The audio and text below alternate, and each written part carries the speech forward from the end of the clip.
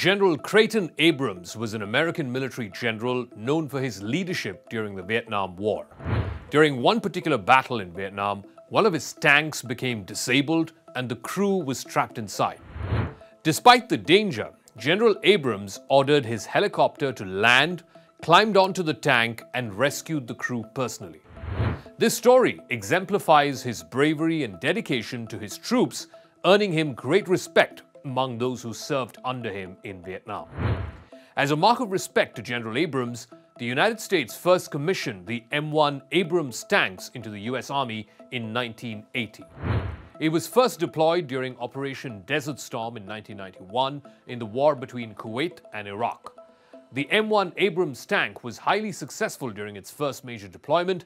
It was able to effectively engage and destroy enemy armor, providing a significant advantage to the coalition forces.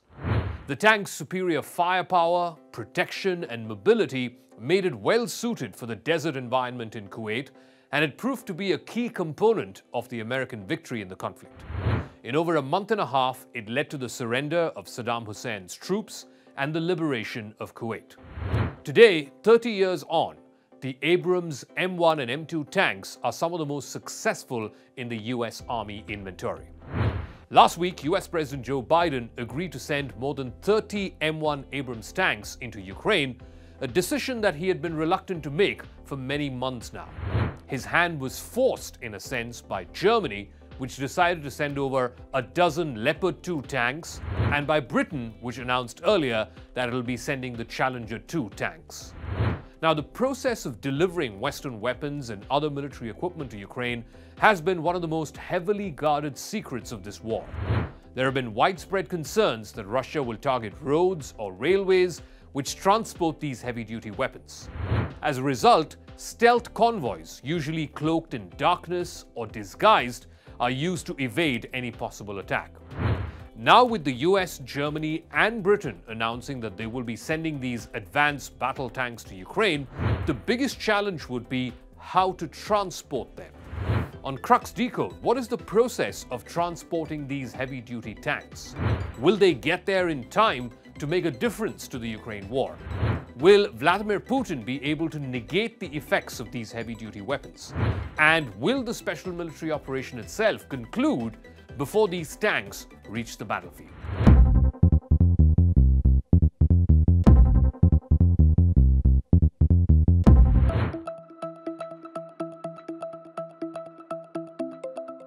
Russia is not known to have successfully struck a large convoy of Western weapons being shipped into Ukraine. Now, experts describe the process of transporting these heavy weapons into the conflict zone as a game of cat and mouse, which so far at least Ukraine has been winning.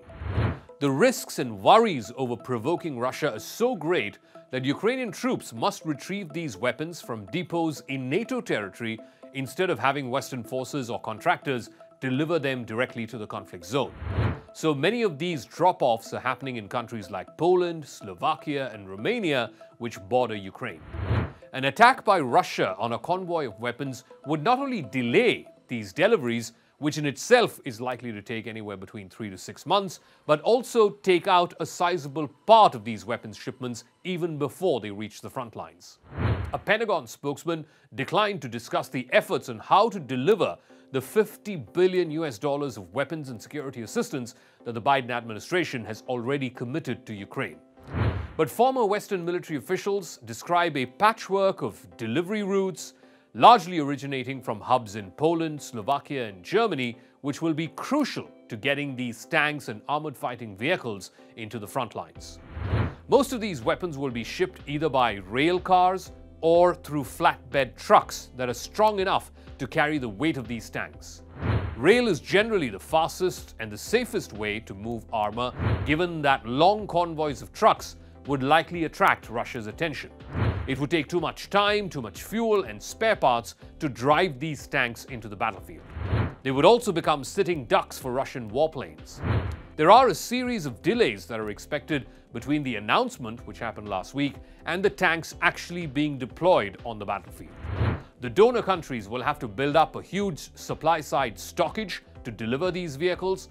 They will have to train crews and mechanics, and then move to the actual deployment. It's going to take anywhere between three to six months at the very least.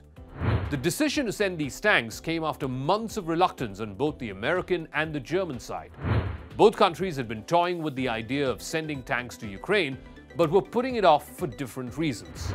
The United States was not sure how much tanks would actually help Ukraine in the battlefield, and Germany did not want to annoy Putin. Ultimately, it was a nudge from the British who first announced that these tanks consignments, which then forced the hand of both Washington and Berlin.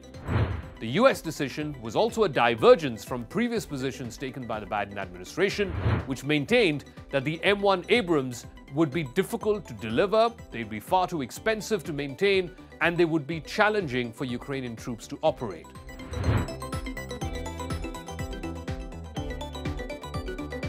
The reactions from Russia have been critical yet calm. Neither the political nor the military leadership has shown any kind of alarm. They seem confident that these heavy weapons do not pose any major strategic threat to Russia on the battlefield.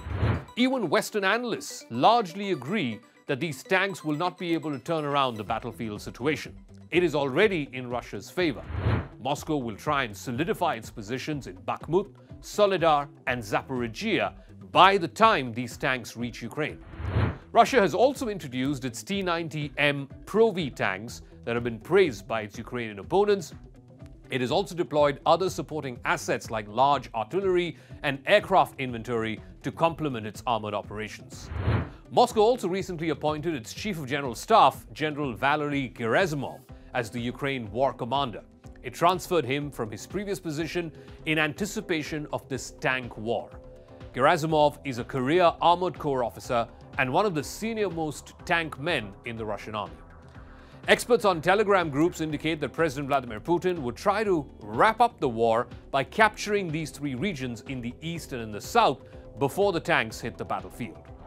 German Defense Minister Boris Pistorius has said that the first tanks from Germany should be in Ukraine in three months' time and that the training of Ukrainian crew should begin soon. As German media has previously reported, citing figures from the Ministry of Defense in Berlin, as of May last year, the Bundeswehr had more than 300 Leopard 2 tanks, including 200 which were in service, 99 which were under repair or being upgraded.